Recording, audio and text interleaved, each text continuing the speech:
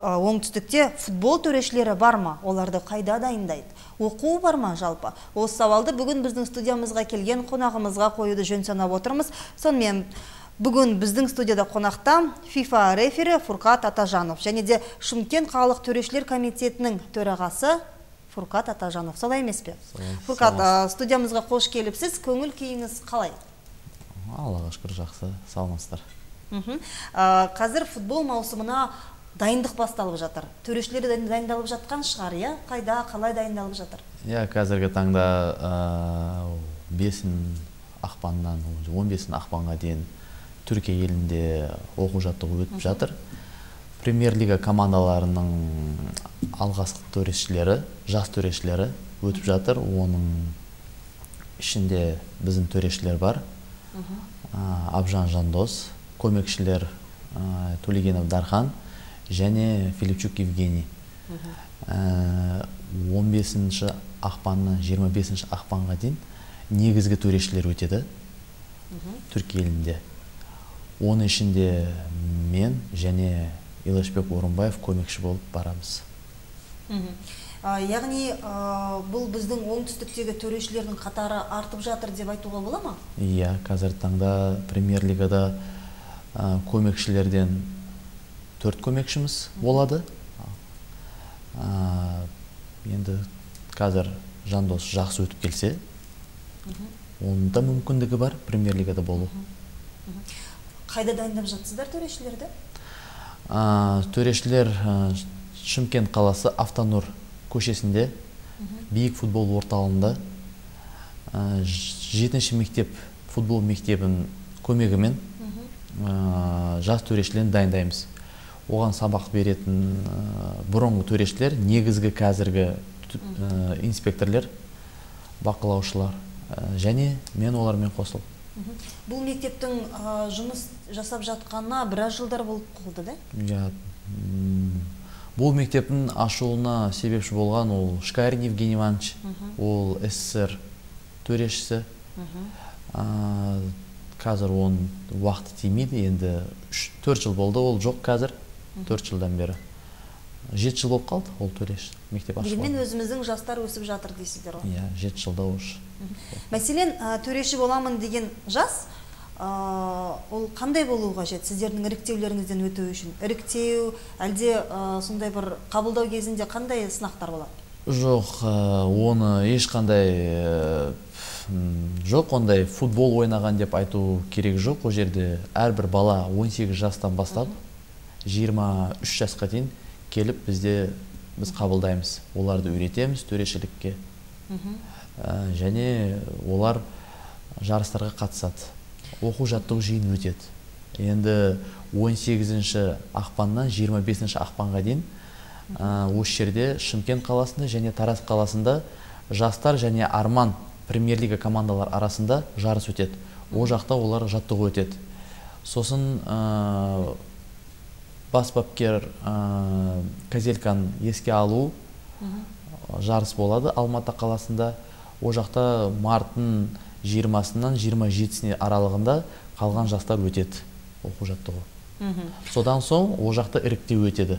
Республикалық жарыстарға өту екінші лига бірінші лига және премьер лига енді түркияда болады әр жылы. Бізбен хабарласқан көрермен бар екен алғаш тыңдап алсақ. Сәлеметсіз бе айта беріңіз? Сіздердің бағдарламаларыңызды көріп отырып бір келген қонақтан сұрағым бар еді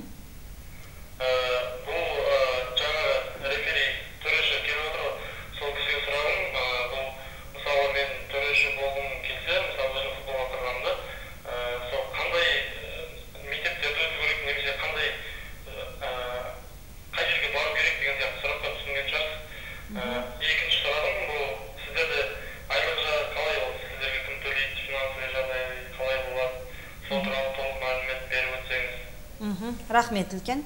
Бірінші сұраққа айта келсек шымкент қаласының алпысбаев көшесінде футбол биік футбол орталығында біз орналасқанбыз.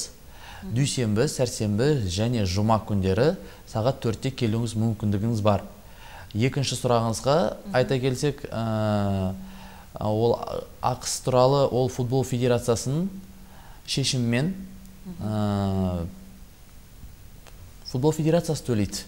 Оны екінші лига және жастар арасында әрбір өзінің әрбір ә, ойыныңа айлық аласың. Әрбір ойыныңа. Ондай әр сайын жоқ ондай айлық. Әрбір ойыныңа аласың. Ә, жастарын ә, төрешілік етсең өзіңнің турнирін аласың. Екінші лигаға өзінің ақы бар. Бірінші лигада өзінің ақы бар. Және премьер лигада. Енді уефа ә, рефери фифа болсаңыздар ол жақта уже уефа сізге төлейді. Карточкаңызға перечислять етеді Ә, яғни жаңағыдай тек өзіңіздің белсенділігіңізге байланысты дегіңіз келіп иә отыр ғой? өзіңіз иә бәрін өзіңіз. Өзіңізге байланысты. Ә, және де фурқат сіз өткен жылы облыс тарихында алғаш рет европа лигасында төрелік еттіңіз. Иә. Қалай болды? Ол уақыттан бері сізден сұхбат алған жоқпыз. Қалай өтті ол жақтағы төрешілік? Барлығы ойдағыдай болды ма әлде ә, бір кемшіліктер болып онымен жұмыс жасау қажет деген ойда бар ма? Э, алдыңғы жылы негізі өте жақсы өтті. А, мен жеті ойын берді маған. Бірінші енді бастағаннан кейін жеті ойын берді. Осы жылы да ойыным бар.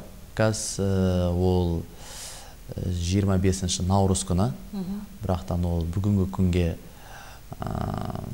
конфиденциальный ойын дейді. Оны айтуға болмайды әлі. Құп- құпия. Оны ә, қай елге баратынын да айтуға болмайды. Сол үшін ал жақсы бәрі. Аллаға шүкір бәрі жақсы. Жалпы төреші болу негізі қиын деп жатады. Өйткені ә, төреші алаңдағы ә, 22 футболшының да трибунада отырған ә, әрбір жанкүйердің де сынына алынады. Ә, соншалықты жауапкершілікті алып жүру оңай емес шығар. Сол себепті де көптеген адамдар төреші болғысы келмейтін де шығар. Енді былай қарасаңыздар ол төреші деген ә, жұмыс ол сондай енді қиын деп айту са- айт- айтса да болады. Негізі бір секундтың ішінде екі үш секундтың ішінде шешім қабылдау керек. Ол жақта пенальти пенальти емес ә, футболшылар қанша дайындалады? Сені бір шешіміңмен он ойынды негізі ойын шешіледі иә. сол үшін ә, ең жақсы ең мықты ең дайындығы жақсы төрешілер ә, өтеді этаптан. Бірінші этап ол жас жастар арасында сөйтіп екінші лигаға өткізеді. Сөйтіп бірінші лигаға өтесің сөйтіп премьер лигада өтесің премьер лигадан кейін сөйтіп халықаралық халықаралық төрешілер бізде төртеуміз қазақстан бойынша. Оны шешетін ә, қазақстан футбол федерациясының басшылығы шешеді.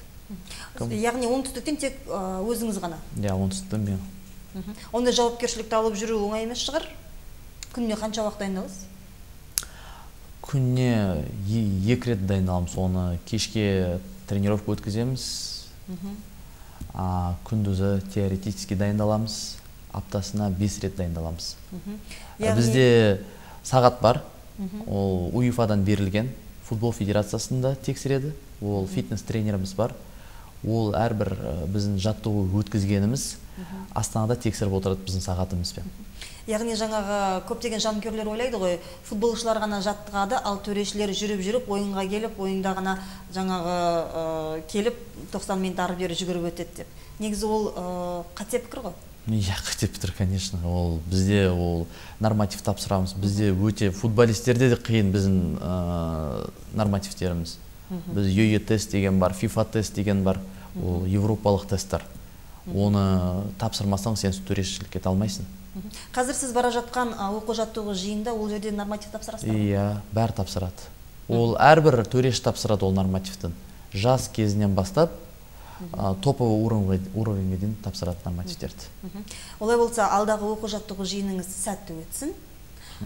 Шымкентке жақсы нәтижелермен оралыңыз. Өйткені сіз біздің мақтанышымызсыз. Оңтүстік қазақстан облысынан халықаралық деңгейге шығып отырған жалғыз сіз болған екен үмітіміз де сізде. Ал кейінгі сіздің ізбасарларыңыз бұдан да үлкен же- жетістіктерге жетіп сіздің ізіңізді баса береді деген ә, ниетіміз бар. Студиямызға келіп ә, аз ғана уақытыңыздың ішінен бізге уақыт тауып келгеніңізге алғысымыз шексіз. Оңтүстік рабат газетін сізге сыйға тарту етеміз. Ә, және де сіздің жетістіктеріңізді осы газет беттерінен көре бере- берейік деген тілегіміз бар.